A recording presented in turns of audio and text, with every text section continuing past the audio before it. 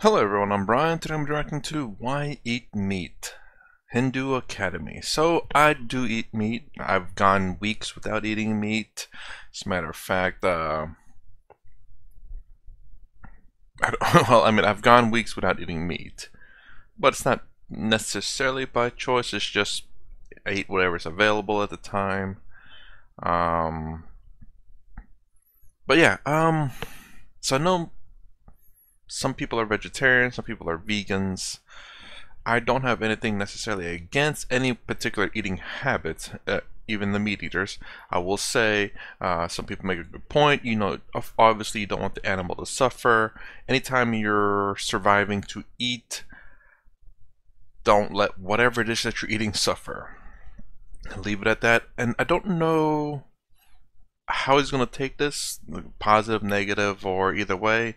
Um, the few things that I've made arguments for everything, if everything is Brahman, um, plant and animals, and um, then we're we're eating Brahman nonetheless. Um, what else? Sometimes there are some plants out there you do have to destroy to get the fruits or vegetables. Vegetables, actually. Fruits, on the other hand, I can't really argue against that because I do believe fruits in general you are supposed to eat because it is it is a way for animals to eat the fruits so you can poop out the seeds or spread the seeds. It's supposed to be that way. I think some vegetables may be a little bit different. However, all animals, on the other hand, you do have to terminate and to uh, to be able to eat it, as opposed to I think all fruits you can pick the fruit and the plant will be fine. I think you're supposed to do that for fruits. So if you're fruitarian, you got everyone beat. Pretty much. Vegetarian, there are maybe some vegetables that if you do take the the the plant, it will die. So meats on the other hand, there's no excuse. You know, everything in meat, you you do have to. Uh, yeah. Let's go get, go ahead and get started.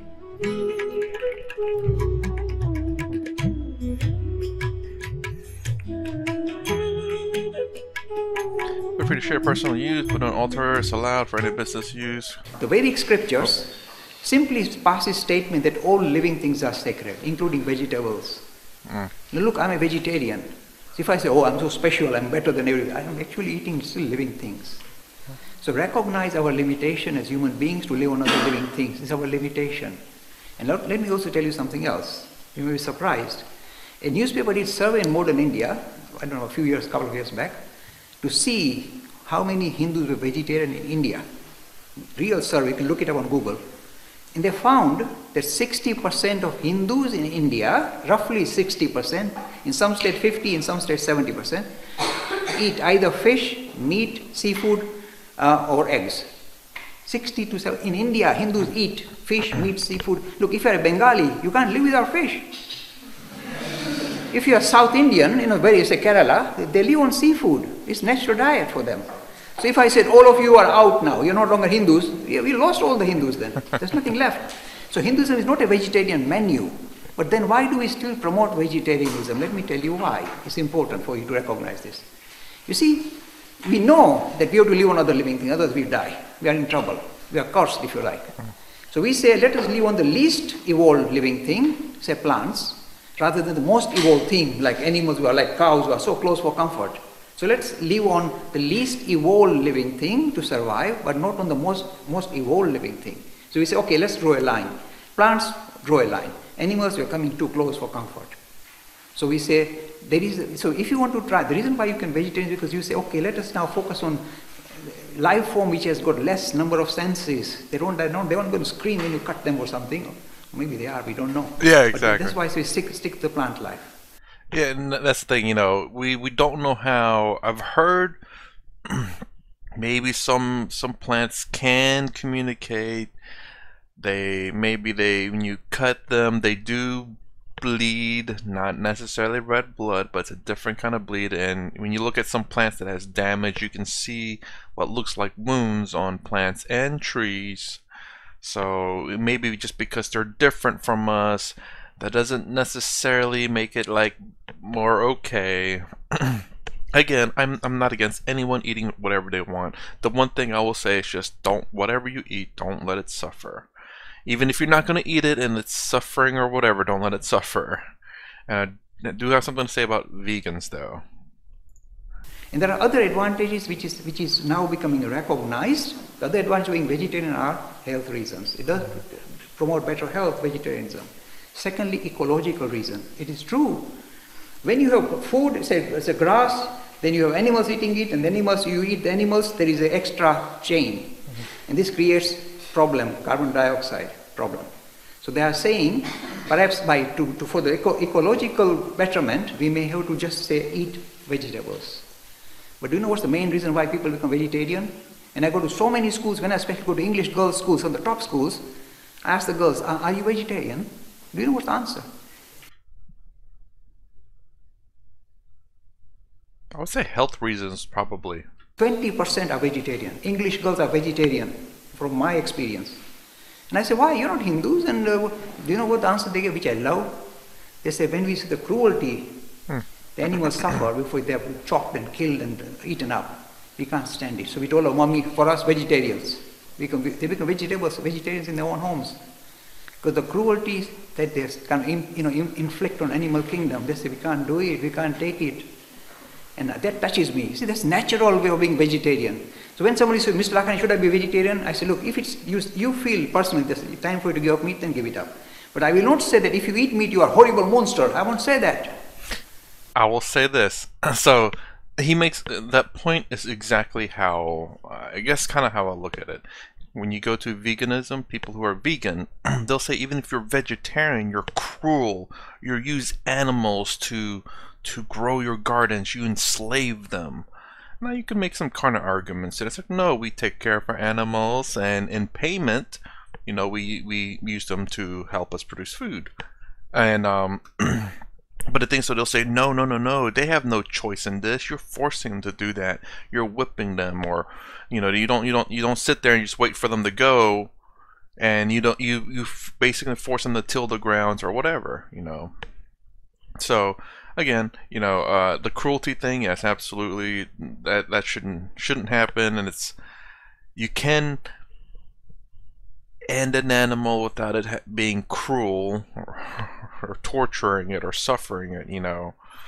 And again, plants, just because we can't communicate with them doesn't necessarily mean they're not suffering. It's just that we don't know. And we're saying they're lesser than us maybe maybe again the real reason why we think they're lesser than us is because we can't communicate with them what if all of a sudden we're able to communicate with plants and they're so intelligent like we develop this device all of a sudden we can communicate with plants like oh wow we uh they're about as smart as uh say six year olds or something like that. Like whoa what then? That'd be weird. That would be weird. And I will say this too: like if there's uh, animals out there that are quite intelligent, I think we have to draw a line somewhere for that too. So, for example, I don't know, like dogs can be like I think can be as smart as maybe two to four years old or something like that. There are some birds that you can actually talk to and can communicate in their intelligent range between like six years old. But then again, you look at certain parts of the country or the world, should I say, that uh, don't have a lot of access to foods and they're they're um they're killing what in America would be considered pets like dogs, cats, and um, yeah, and to Americans, I'm sure they say, "Oh, that's cruel. Why they're they killing dogs? That's not food." Well, you know, you're an American, dude. You have a lot of choice for food, and because you see an animal one way, doesn't mean that other people, other cultures see animals in the same way they do what they have to do to survive. You may not eat it, you may not like it, but it's what they have to do to survive. So I, again, I, I that's the reason why I don't I don't say oh you're bad for eating meat or eating vegetables or being vegan or anything like that. It's just don't let it suffer. That's all. That is my minimum requirement. Don't let it suffer. If you have to eat it, I understand to survive, then by all means, and let's continue on. So the arguments of the vegans against vegetarians about how you're using animals, cruelty to animals. Vegans go so far as to they won't eat anything with animal products in it. So eggs are a no-go. Um, they won't use any animal fat. Obviously, anything with meat, anything to deal with animals. If animals has did did anything to the vegetables, like you use an animal to plow the field and then you plant vegetables in it, that that's not vegan anymore. That's how far vegan has gone.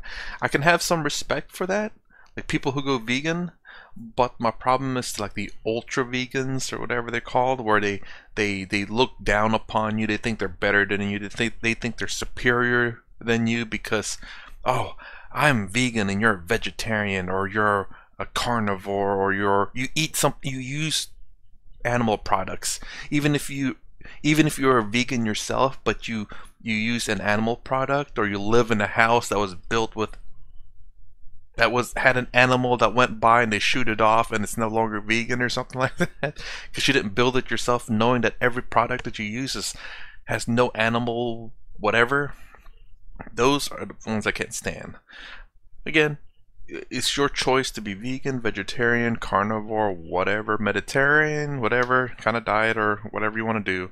It's fine so long as you don't talk like you're superior to someone else or that you're better than everyone else.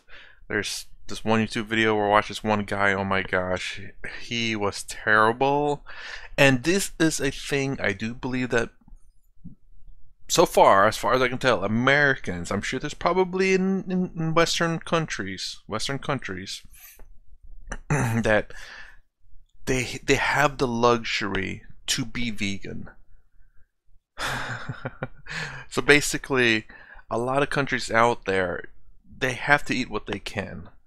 Um, and there are a lot of countries out there who need animals to make products, produce, and whatnot, who don't have the luxuries of using high tech equipment or to have lots of uh, farmland to grow whatever crops they want you know. That's a that's a thing that America can provide. Yes, America can buy fruits and vegetables from other countries or plant their own in here, and they have plenty of farmland. Or if not even farmland, you can have just a patch of dirt soil, and then you can mix something into that dirt soil to make it very farmable. And it's this entitlement kind of deal where you know veganism or veganism, this ultra veganisms, I guess I don't know what you want to call them, but where it's like, oh my gosh, I am so better than you, and and they, we, they just get this option, like like living particular lifestyles. It's just and they think they're better than you because of that. Need to stop ranting. it it doesn't really necessarily tick me off, but it's just it's kind of cringy and just sad to see people who think they're better than everyone else because they live a particular lifestyle. And that lifestyle usually costs a lot of money. To to buy products that wasn't tested on animals or or animals had nothing to do with it. I mean you're paying premium sums for that. So basically the a lot of the entitled people are generally upper middle class people. I'm not saying all of them, but that's where they tend to come from, I think. Rich families, generally speaking, where they never had to touch garbage when they unpacked their unpacked their whatever they're eating, someone else unpacked it for them, and then they picked up. The, I don't know. you know, I don't know rich people, so I mean, everything I've had to do for for the most part on my own. I talk too much. Let's go.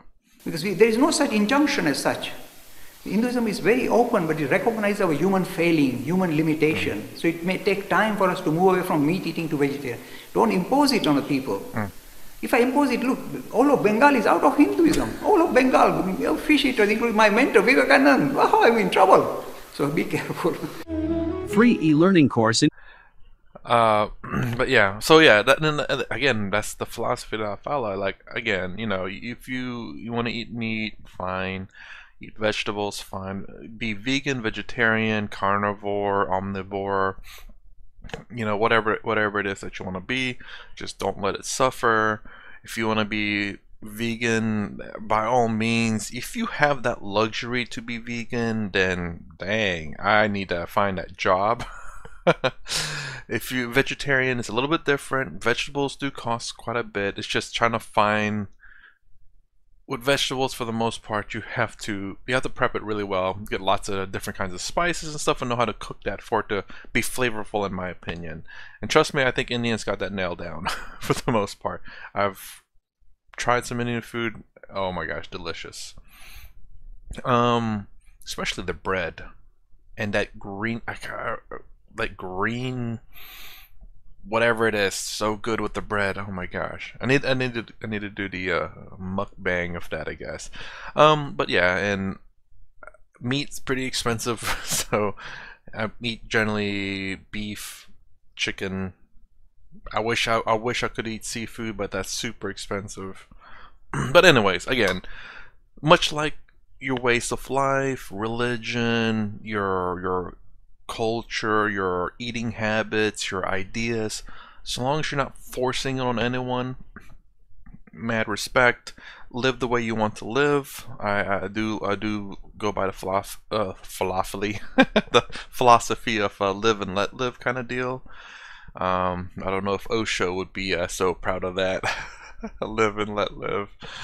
I mean, it, I mean, you know, as long as it's almost kind of like uh, tolerance. it's like vegan tolerating um, carnivores.